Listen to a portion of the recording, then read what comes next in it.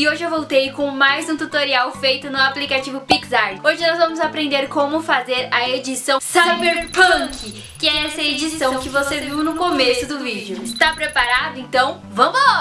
Para fazer essa foto eu vou entrar aqui no PixArt e eu quero lembrar você que eu sempre estou trazendo tutorial aqui no canal desse aplicativo maravilhoso. Então para você não perder, já se inscreve aqui no canal, deixa aquele like. Eu tenho certeza que você vai amar esse vídeo. Bora continuar! Aproveita o embalo e já aproveita e me segue também no meu perfil dentro do PixArt. É Aline Santana Fotos. Eu deixo vários replays muito legal aqui pra você. E pra começar, eu adicionei essa foto aqui, que eu vou deixar lá no meu Pinterest. O link está na descrição. Vou clicar aqui em adicionar fotos e eu vou adicionar esta foto aqui, ó. Vou apertar agora aqui em recorte, pessoa e o aplicativo já vai recortar praticamente tudo da minha foto. Olha só. Agora é só apertar em apagar, apagar essas partezinhas aqui que eram para ser apagadas e que não apagou. E essas partes aqui que não eram para ser apagadas, é só pintar novamente. Prestem atenção em todos os detalhes para a foto ficar lindíssima, hein? Olha como ficou chocante essa foto. Vou clicar agora aqui no certinho e eu vou centralizar essa foto mais ou menos aqui, ó, desse jeito. Vou clicar na minha foto e ajustar ela para ficar um pouco mais parecido com a imagem de trás. O brilho eu vou colocar mais ou menos aqui no mais 7. Contraste eu vou colocar em menos 10. Claridade eu vou colocar só no 4. Saturação mais 15. Matiz menos 20. Nossa, menos 20. Fiquei parecendo um pimentão, gente. Olha isso, meu Deus.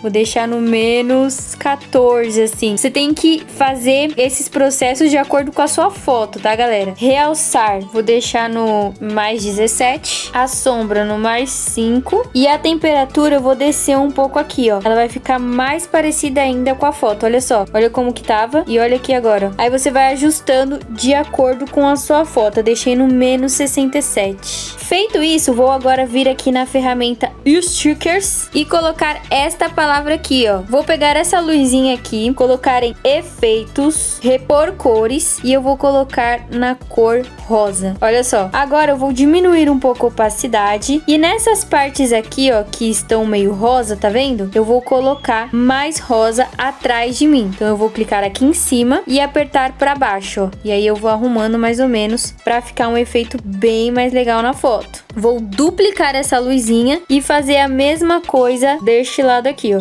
Centralizar mais ou menos, apertar para baixo. E aí depois é só arrumar do jeito que você desejar. Agora eu vou duplicar essa luzinha novamente, vou apertar em efeitos, repor cores, mas eu vou colocar a cor azul. E eu vou fazer a mesma coisa aqui embaixo, ó, que tá meio azulado, tá vendo aqui, ó? Vou colocar aqui e apertar para baixo. Vou duplicar novamente e colocar aqui também, ó, e apertar para baixo. Para você entender melhor, ó, ó como tá as luzes, ó. As luzes estão assim. E eu vou colocar aqui vai ficar aparecendo só essas luzinhas fofíssimas da vida. Outra coisa que eu vou fazer também, eu vou colocar a minha foto para o outro lado. Então eu vou clicar na minha foto, apertar em inverter, girar e eu vou inverter para esse lado aqui, ó, que eu achei esse lado mais legal. Feito isso, eu vou vir agora aqui em desenhar. Vou colocar neste pincel aqui, ó, que tem a bolinha, nesse daqui, ó, que tem a bolinha. Vou clicar em cima dele, deixar o tamanho dele em 128 e a opacidade em 20. Agora eu vou clicar nessa setinha aqui de cima, vou vir aqui embaixo, ó, vou deixar essa parte aqui clicada, ó, zoom habilidade, ela tem que estar tá clicada. A única coisa que não vai estar tá marcada aqui é a variar opacidade, o restante eu deixei marcado. Agora eu vou clicar aqui em camadas, ó, vou deixar clicado nessa primeira camada aqui, ó, vou colocar aqui embaixo e colocar em adicionar. Vou tirar dessa camada e agora sim eu vou começar a minha pintura. Para isso eu vou colocar aqui em cor, vou colocar nessa ferramenta aqui, seleciona a luz que está mais ou menos na frente de você ou atrás de você e vou começar a pintar. Eu vou pintar algumas partes da minha foto como se a luz estivesse batendo em mim, ó. Desse jeito aqui, ó. A mesma coisa eu vou fazer do outro lado, ó. Vou clicar aqui na cor pra ficar um pouco mais parecido e pintar essas partes aqui, ó. Na parte azul eu vou fazer a mesma coisa também.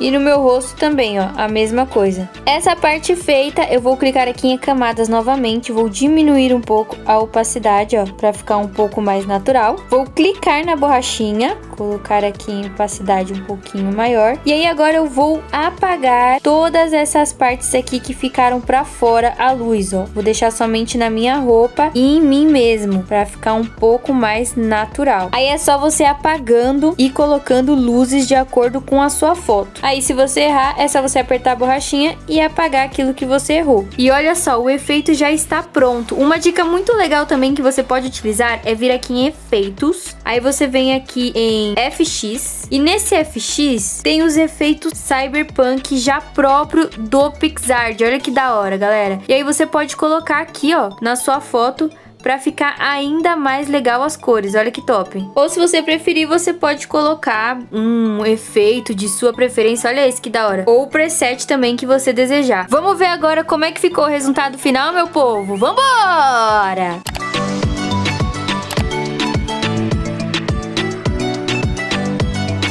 Eu espero que você tenha gostado desse tutorial. Um grande beijo e até o próximo vídeo. Tchau!